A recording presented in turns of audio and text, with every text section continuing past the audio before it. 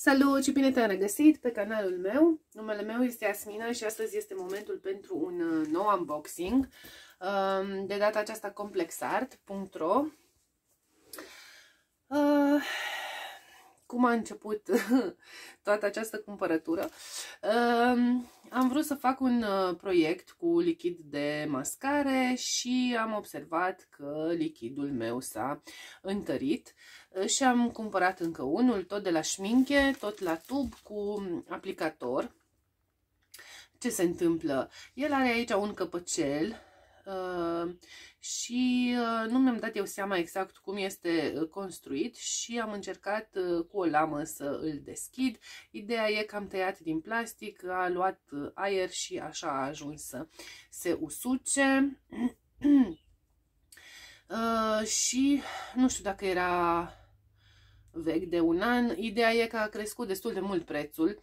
L-am luat cu 27 de lei data trecută, acum e 34. Cred că toată această nebunie, pandemie își spune cuvântul uh, asupra prețurilor.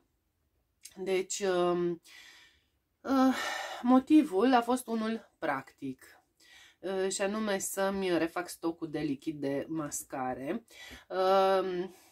Uh, îmi propun în viitor să, să facem și un proiect în care să-l folosim ca să vezi și tu, dacă nu știi deja despre ce este vorba, uh, cum se folosește. Apoi am luat uh, niște pensule de la Rubloff. Îți uh, spuneam că linerul sau riggerul meu preferat este de la Rubloff, e o firmă din Rusia și de data aceasta mi-am luat niște pensule sintetice cu fir alb Uh, pentru a le folosi la goașe.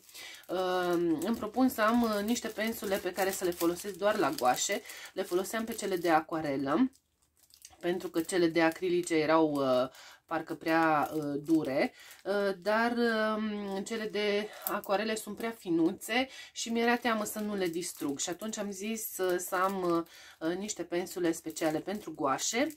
Uh, am luat 0, 1, 3, 4, 5 și 6 pentru că 2 nu-l aveau pe stoc, dar cred că e suficient.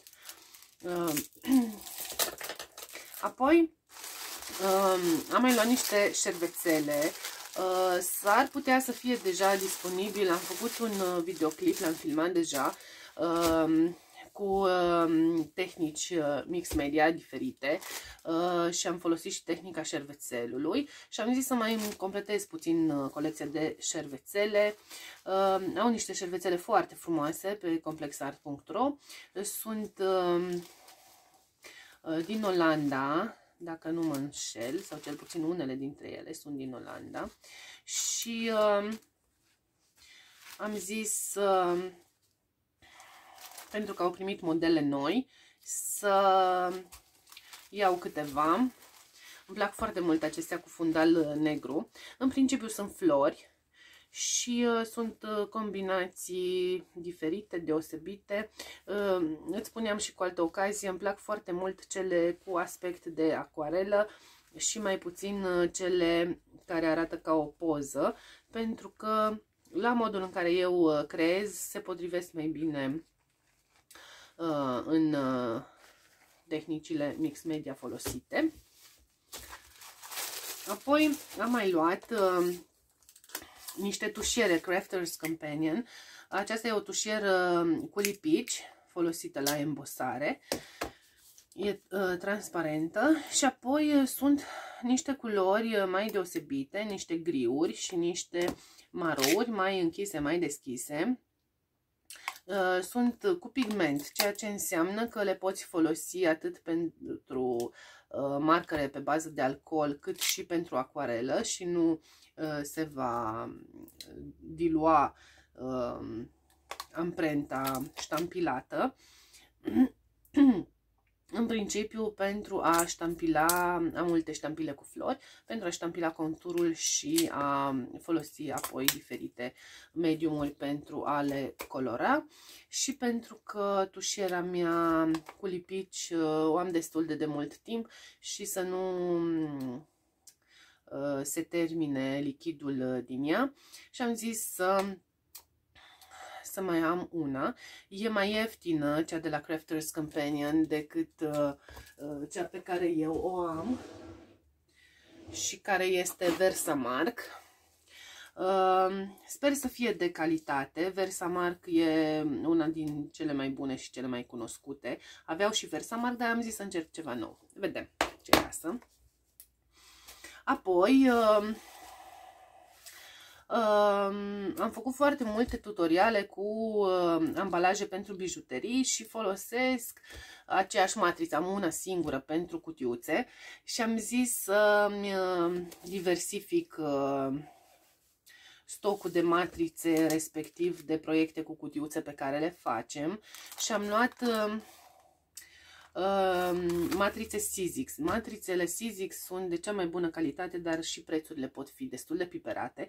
Mai aveau câteva modele pe mm, complexar.ro, dar uh, sunt cumva mai puțin generice, sunt mai specifice și atunci și aplicabilitatea lor ar fi mai, uh, mai restrânsă, iar altele sunt foarte similare cu ce am deja și am zis că nu are sens. Uh, am luat, practic sunt niște brăduți Ehm, gândiți de Tim Holtz, cel care dezvoltă produse pentru Sizzix sau și pentru Sizzix. Ehm, nu am de gând să le folosesc așa, în schimb mă interesează forma aceasta de prismă ehm, piramidală. Nu cred că am să le fac găurelele. Mă interesează ca ambalaje pentru, pentru cercei. Mm, și uh, va urma și un, uh, un videoclip în acest sens, să facem niște uh, ambalaje împreună, să vedem ce iasă. Și apoi uh, încă un set de matrițe uh, care face, uh, acest set face o cutiuță, um, să zicem, în formă de plic uh, tridimensional, ca o pernă. Iar uh, Fețele le poți uh, decupa cu diferite modele, are două modele. Mm, vedem și aici ce, ce va ieși. Um, acesta mi se pare mult mai versatil și e mai încăpător și atunci s-ar potrivi și pentru um, a ambala alte lucruri, cum ar fi un set complet de bijuterii și nu neapărat pentru, pentru bijuterii, orice cadouri mai, uh, mai micuțe. uh, și ce am mai luat a fost uh, uh, un uh, bloc de hârtie pentru pasteluri uh, de la Hanemühle și este cu hârtie 100% bumbac, uh, 130 de grame pe metru pătrat. Sunt foarte curioasă.